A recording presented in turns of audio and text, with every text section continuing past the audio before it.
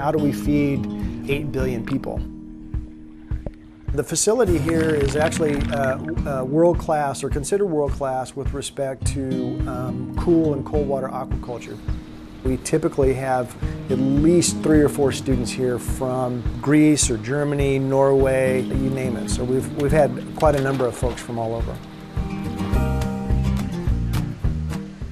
The Aquaculture Research Institute has campus facilities as well as facilities in Hagerman.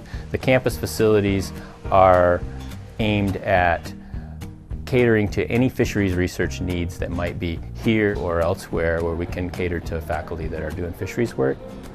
The prestige that we have here is another level, okay? There is no comparison between University of Idaho and Aquaculture Research Institute.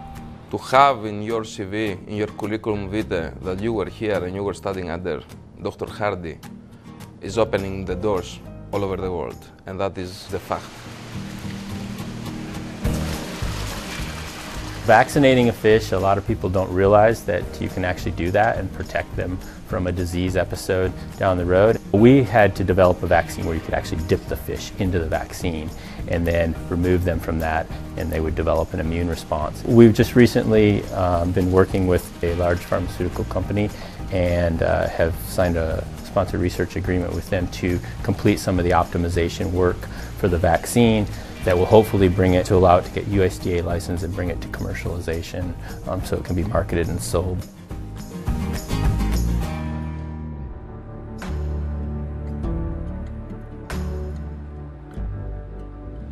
The work that we do here is the same thing that people in China, the people in in Chile, people in Australia, and everywhere else are facing. It's the exact same problem. So when we solve a problem here, it translates to helping solve those problems, same problems around the world. So how do we feed 8 billion people? Just to meet the demand of the population by 2050, aquaculture will have to grow by over 50 percent.